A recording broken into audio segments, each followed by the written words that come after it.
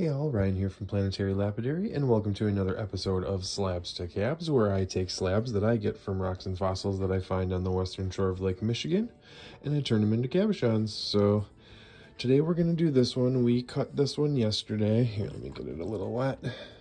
We cut this one yesterday. Not 100% sure what it is, but it's awesome looking for sure. Um, so I thought it actually looked like there was a little duck right there in there. So the piece I wanted to get, I'm gonna do 30 millimeter. I'm gonna, I got some new settings like that, 30 millimeter circles. So I already drew my line on the back here right there. So the face that I'm gonna get is gonna have that duck in it and kind of have all of these little pockets in it.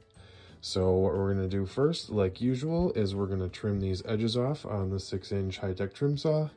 And then we're gonna head over to the flat lap and we're gonna shape this down so it fits into the setting. So we'll get those two steps done and we'll see in a little bit.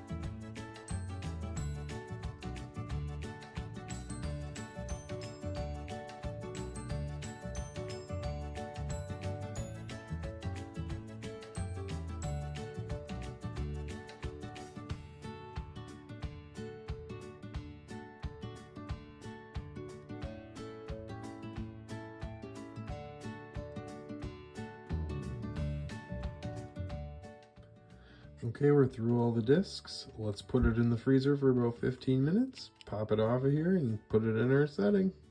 Okay, so this thing's been in the freezer for about 15 minutes. Let's hope it snaps off okay. It did. Get this stuff out of the way. No wax left on the bottom. Just get this thing wiped off. See what she looks like. This is what we ended up with. It didn't take that great of a shine. It's got to have like some hematite or something in there. You can see in the sheen there.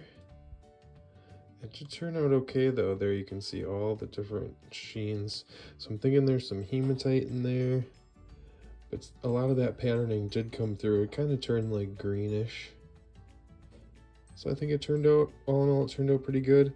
It did have this fracture. I'm not sure if you can see that. It kind of goes all the way through right there and then all the way up, but you can't really tell it's in there. It kind of just looks like it's in the stone. So let's see it inside of this setting once. Yeah, there you go. So I might not actually keep it in this setting. It got a little smaller than I wanted, but technically that's what it would look like in any setting. So not a great shine, but good enough for me, I think. It's just really cool patterning. Alright, so if you like this video, leave a like, hit subscribe if you haven't already. Stay tuned for a couple close-ups at the end. We'll see you in the next one. Bye-bye.